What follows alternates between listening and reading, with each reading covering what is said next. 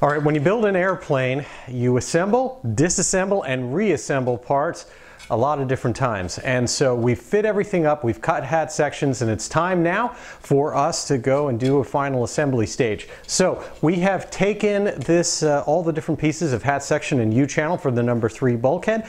We have primed them, and now we are going to use the uh, adhesive. It's just a silicone adhesive. This is going to get used to attach them to the frame. We'll get that all in place, we'll clamp it, let it secure into place, and then we can start the final assembly so that a lot of these pieces will be together for the final time. Some of them have been primed, some of them got final paint, so let's get to work.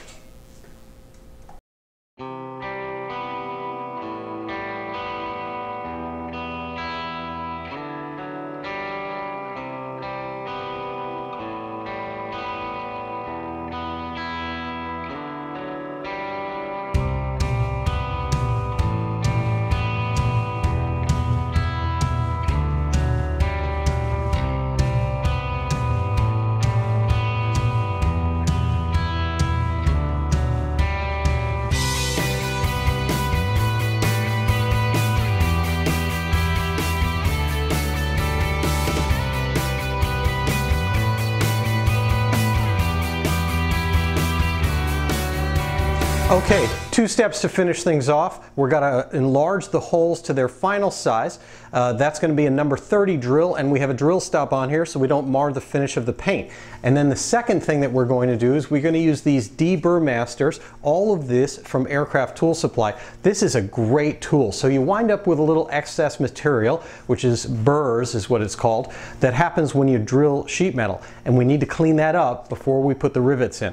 And so this deburr Burmaster has a spring-loaded cutting edge. It's going to go through and back and super quick. It's going to get that all cleaned up and ready for the rivet.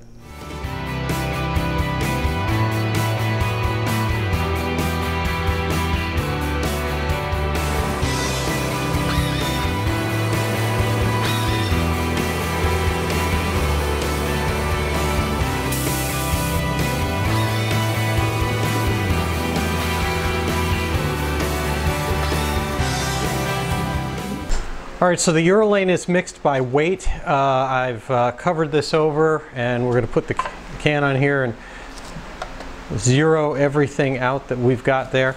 And then we've got this part A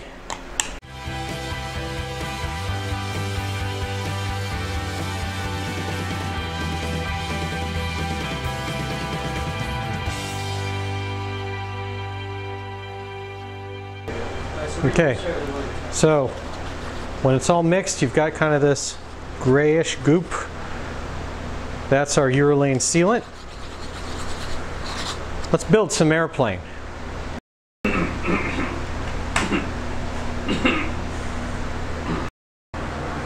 Okay, so we're time sensitive. We've got our Uralane sealant mixed up. Now it's time to put this number three bulkhead on, all the pieces. Gonna get some help from Jake and Ben uh, so that we can make this thing happen pretty quick. So I'm just going to put on a thin layer of it across all these places that the number three bulkhead adheres to.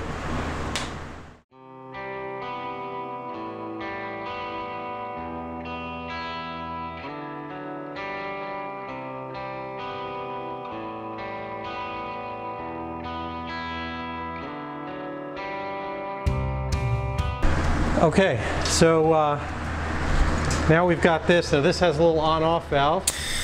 Now it's on. You hear it running.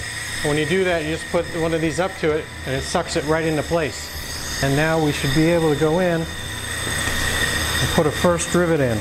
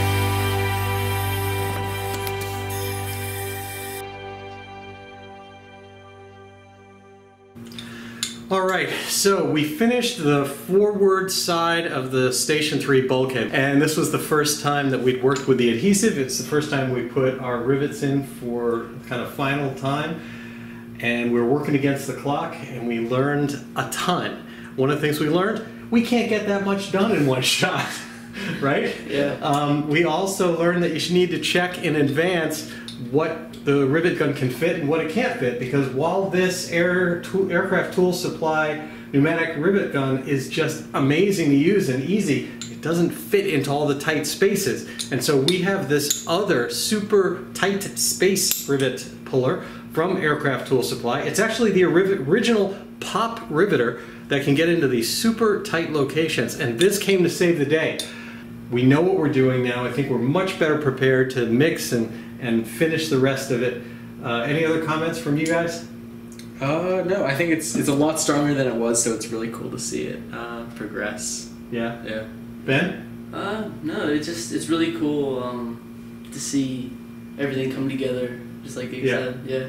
So what do we do then after a tough experience when when it's time for us to recuperate? Ice cream. So the team's gonna we're gonna take a break. We're gonna get out of here and have some ice cream and call it a night. And uh, Jake will get to work on the next video that you get to see. Until then, thanks everybody. Blue skies.